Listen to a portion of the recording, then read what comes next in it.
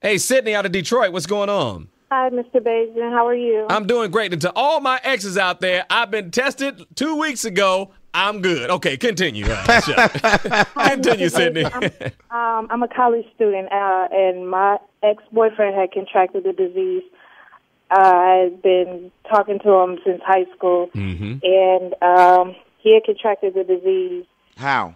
I think it's through drugs, but Mhm. it could have been through sex. It could have been through anything because Right. he had he had been talking to a lot of other females while he was talking to me. Are you positive? No, no, I'm Good not. for you. So, Sydney, what what do you say to all the men and women and the young people out there, should I say, who are laying down without even knowing if their partner is positive or not? I say get tested and really start shedding light on the situation. Let's not keep it hidden in um, college campuses. Let's spread the word, you know. Good advice. And um, you know, if if you have it on a college campus, become an advocate. You know, don't don't hide behind closed doors. Warn people.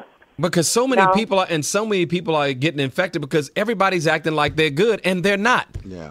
There's a lot of positive people out here listening to this show right now that don't know. And guess what, George? They don't want to know. They don't want to know.